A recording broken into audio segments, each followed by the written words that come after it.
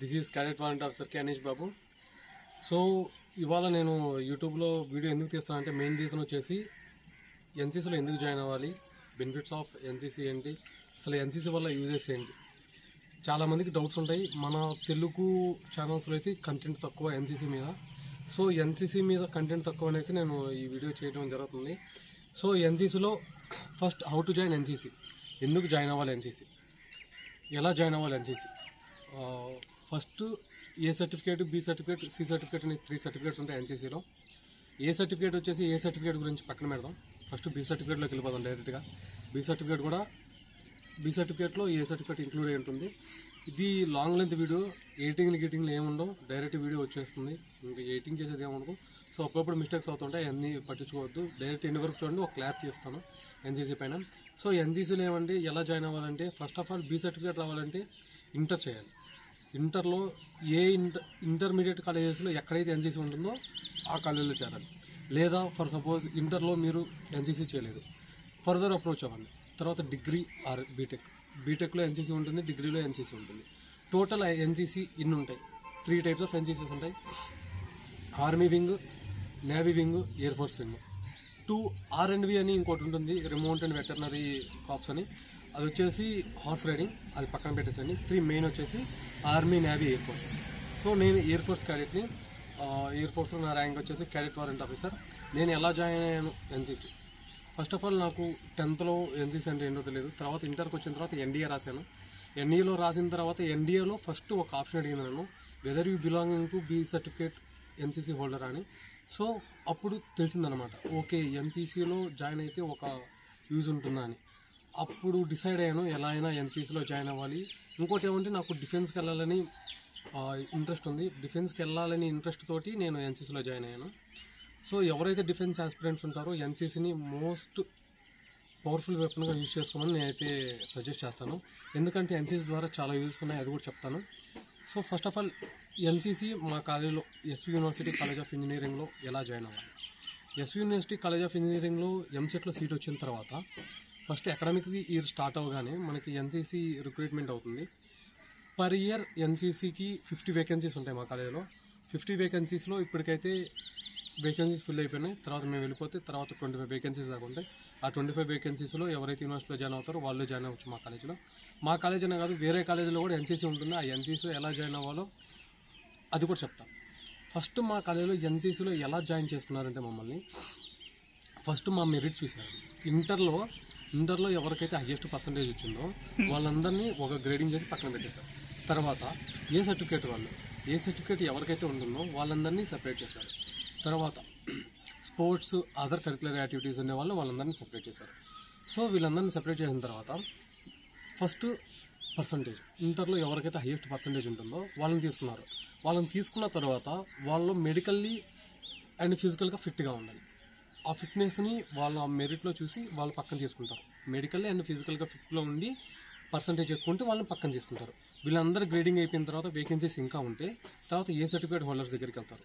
ఏ certificate holders కూడా వాళ్ళలో కూడా మంచి పర్సంటేజ్ ఉండి వాళ్ళలో కూడా ఫిజికల్ ఫిట్నెస్ బాగుంటే వాళ్ళని తీసుకుంటారు. వాళ్ళకి అయిపోయిన తర్వాత మళ్ళీ కూడా ఇంకా వేకెన్సీస్ ఉంటే తర్వాత స్పోర్ట్స్ అండ్ అదర్ యాక్టివిటీస్లో తీసుకుంటారు. సో ఇవన్నీ బేస్ చేసుకొని ఎన్సీసీలో జాయిన్ అవ్వచ్చు. నెక్స్ట్ వచ్చేసి ఎన్సీసీలో ఎందుకు జాయిన్ అవ్వాలి?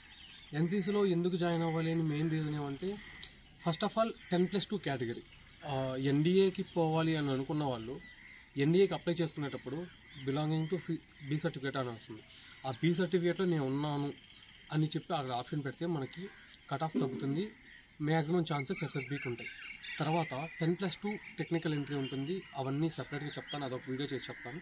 సో ప్రజెంట్ అయితే ఎన్సీసీ గురించి తెలుసుకున్నాం తర్వాత బీ సర్టిఫికేట్ అయి బి సర్టిఫికేట్ బీటెక్లో చేసుకోవచ్చు డిగ్రీలో చేసుకోవచ్చు. బీ సర్టిఫికేట్ అయిపోయిన తర్వాత సి సర్టిఫికేట్ ఇంకో ఎగ్జామ్ ఉంటుంది. సి సర్టిఫికేట్ ఎగ్జామ్ కూడా క్లియర్ అయిపోయిన తర్వాత సి సర్టిఫికేట్లో కనుక బి గ్రేడ్ కంటే ఎక్కువ వచ్చి ఉండాలి.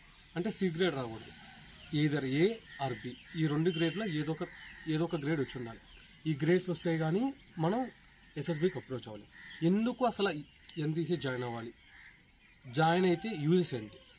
So first of all NCC ఎందుకు జాయిన్ అవ్వాలంటే నేనైతే నా భాషలో ఫ్రంటియర్ ఆర్మడ్ ఫోర్సెస్ అంటాను ఎన్సీసీని ఎందుకంటే మనం సిడిఎస్కి అప్లై చేసుకునేటప్పుడు సిడిఎస్లో కూడా ఒక ఆప్షన్ ఉంటుంది. ఎన్డీఏ ఎలాంగేషన్ ఈ సిడిఎస్ సిడిఎస్లో కంబైన్ డిఫెన్స్ సర్వీసెస్లో యూపీఎస్సీ కండక్ట్ చేసే ఎగ్జామ్లో ఒక ఆప్షన్ ఉంటుంది. Whether you belonging to C certificate holder అని. అక్కడ మనం సి సర్టిఫికేట్ హోల్డర్ అని పెట్టుకుంటే మనం ఎస్ అని ఆప్షన్ ఇచ్చుకుంటే మనకి కట్ ఆఫ్ తగ్గే అవకాశం ఉంటుంది. సో దాన్ని పక్కన పెట్టేస్తే అఫ్కాట్ ఎంట్రీ ఉంటుంది. అఫ్కాట్ ఎంట్రీలో ఇయర్కి పర్ ఇయర్కి టూ అఫ్కాట్ ఎంట్రీస్ పడతాయి. ఒక్కో ఎంట్రీకి ten percent vacancies NCC special category వాళ్ళకి పక్కన పెట్టేస్తుంటారు. అయితే ఆ సి సర్టిఫికేట్లో మనం అప్లై చేసుకుంటే direct AFSP air force selection బోర్డుకి మనం వెళ్ళిపోవచ్చు అనమాట సి సర్టిఫికేట్ పెట్టుకొని అఫ్కాట్ ద్వారా ఫస్ట్ ఎంట్రీ వెళ్ళిపోవచ్చు. మళ్ళీ అఫ్ దాంట్లో కూడా క్వాలిఫై కాలేదు. మళ్ళీ అఫ్కాట్ టూకి అప్లై చేసుకున్నాం. అఫ్కాటి టూలో కూడా స్పెషల్ ఎంట్రీకి అప్లై చేసుకోవచ్చు. మళ్ళీ స్పెషల్ ఎంట్రీతో ఇంటర్వ్యూ పోవచ్చు. ఇదంతా వితౌట్ ఎగ్జామ్ వితౌట్ ఎగ్జామ్ రాయకుండానే మీరు వెళ్ళిపోవచ్చు. అంటే అప్పటికి మీరు అఫ్కాటి ఎగ్జామ్ రాసే వాళ్ళతో ఈక్వల్ అనమాట సి సర్టిఫికేట్ వాళ్ళు దాన్ని పక్కన పెట్టేస్తే ఆర్మీ టెక్నికల్ ఎంట్రీ వస్తుంది. టెక్నికల్ గ్రాడ్యుయేషన్ ఎంట్రీ అని ఒకటి ఉంటుంది. బిట్ అది గ్రాడ్యుయేషన్ పూర్తి అయిపోయిన తర్వాత. ఎవరికైతే సి సర్టిఫికేట్ ఉంటుందో ఆ సి సర్టిఫికేట్ ఉన్న వాళ్ళు ఏం చేస్తారంటే స్పెషల్ ఎంట్రీకి అప్లై చేసుకోండి. స్పెషల్ ఎంట్రీకి అప్లై చేసుకున్న తర్వాత ఎస్ఎస్బి వాళ్ళు మీకు ఒక డేట్ ఇస్తారు. ఆ డేట్ ఇచ్చిన తర్వాత మీరు ఎస్ఎస్బిని ఎస్ఎస్బికి వెళ్ళి ఎస్ఎస్బిలో ఎన్ని రోజులు ఉంటాయంటే ఫైవ్ డేస్ ఉంటాయి ఇంటర్వ్యూ. ఆ ఫైవ్ డేస్ ఆ ప్రొసీజర్ అంతా ఎస్ఎస్బికి సంబంధించి మళ్ళీ సెపరేట్గా ఒక వీడియో చేస్తాను. సో ఆ ఎస్ఎస్బికి అప్రోచ్ అయిన తర్వాత ఎస్ఎస్బిలో కానీ మీరు క్వాలిఫై అయితే డైరెక్ట్ ఆఫీసర్ పోస్ట్ మీకు వస్తుంది. సో అది టెక్నికల్ ఎంట్రీ సిడిఎస్ ఎంట్రీ వచ్చేసి సిడిఎస్ ఎంట్రీలో మనం ఆప్షన్ పెట్టుకోవాలి. అఫ్కాట్ ఎంట్రీ అఫ్కాట్ ఎంట్రీలో కూడా స్పెషాలిటీ కింద ఆప్షన్ పెట్టుకోవచ్చు. ఇవన్నీ స్పెషల్ ఎంట్రీస్ సో ఎన్సీసీలో జాయిన్ అయితే ఇవన్నీ ఈ బేసిక్ డిఫెన్స్కి చాలా యూజ్ అవుతుంది. ఇది అదర్ కరికులర్ యాక్టివిటీ అయితే కాదు. ఇది ఒక మనకి ఎడ్యుకే అకాడమిక్స్ పరంగా చాలా పనికి వస్తుంది. ప్లస్ డిఫెన్స్ పరంగా చాలా పనికొస్తుంది అకాడమిక్స్ బదులు అకాడమిక్స్ నేనంత మెరిట్ కాదు అని అనుకున్న వాళ్ళు లేకపోతే నేను అకాడమిక్స్లో కూడా మెరిటే కానీ నాకు డిఫెన్స్ పోవాలి అని అనుకుంటే మీరు జాబ్ త్వరగా తెచ్చుకోవచ్చు. మేము జాబ్ త్వరగా తెచ్చుకోవాలి అనుకుంటే ఎన్సీసీనే అప్రోచ్ అవ్వచ్చు. ఇంకోటి ఏమంటే SSC staff selection commission CPO exam post పడుతుంది. ఆ సిపిఓ ఎగ్జామ్ పోస్ట్ పడినప్పుడు సిపిఓ ఎగ్జామ్ పోస్ట్ పడినప్పుడు టెన్ టెన్ మార్క్స్ బోనస్ ఉంటాయండి. Ten marks bonus NCC C certificate ఉంటే ఉంటాయి. ఇంకోటి వచ్చేసి స్టేట్ ఎగ్జామ్స్లో సబ్ ఇన్స్పెక్టర్ కానీ సబ్ ఇన్స్పెక్టర్ ఎగ్జామ్కి అప్లై చేసుకున్న వాళ్ళు మెయిన్స్ ఎగ్జామ్ రాస్తున్నప్పుడు ఆప్షన్ అడుగుతుంది. మీరు ఎన్సీసీ క్యాడెట్ అని. ఎన్సీసీ క్యాడెట్ అని పెట్టుకుంటే మళ్ళీ మన కట్ ఆఫ్ అక్కడ కూడా తగ్గే ఛాన్సెస్ ఉంటాయి. మళ్ళీ సెపరేట్గా ఎన్సీసీకి సెపరేట్ వేకెన్సీస్ ఉంటాయి. దాంట్లో కూడా మీరు జాయిన్ అయ్యే అవకాశాలు ఉంటాయి. సో ఎన్సీసీ అనేది ఒక అదర్ కరికులర్ యాక్టివిటీ అయితే కాదు. ఇది ఒక మనకి మెయిన్ అకాడమిక్స్లోనే అదొక part NCC is not an other curricular activity it is main part of our future జై హింద్